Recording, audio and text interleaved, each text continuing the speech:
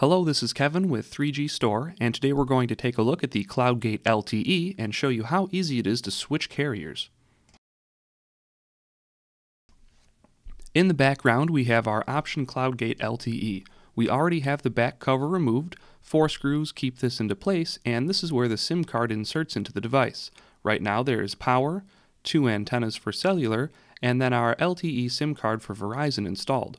We also have a computer connected by Ethernet to the single LAN port, and that's where we're looking at the admin interface in the background. We're going to log in with the default settings of admin and admin and head over to the LTE interface. You can see right now that it already shows as connected to the cellular network. It shows Verizon as the operator, a negative 85 signal strength, and it shows us connected on LTE. Being a global LTE modem though, you can run multiple carriers we're going to remove the Verizon SIM card and then insert an AT&T SIM card.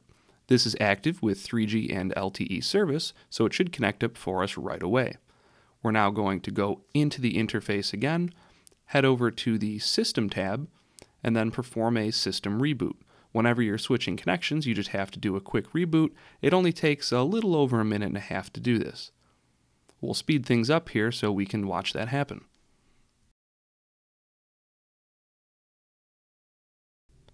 While that is rebooting, we'll zoom in real quick here and show you where the SIM card actually inserts into the device. There's just a simple SIM card slot, it just clicks in and out. The SIM card goes in notch side first, gold contacts facing down, and that is as simple as it is to switch carriers on this device.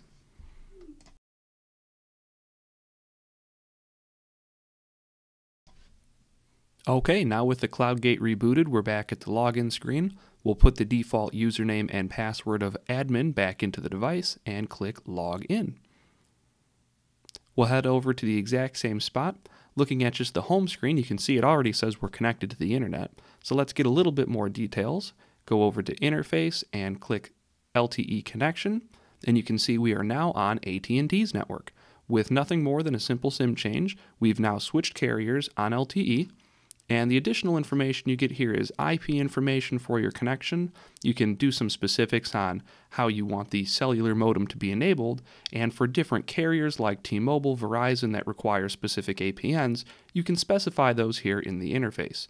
You even get a data counter to tell you how much mobile data you have gone through. For more videos like this, don't forget to subscribe to our channel, and for more information on the CloudGate and its expansion modules, visit 3gstore.com slash cloudgate.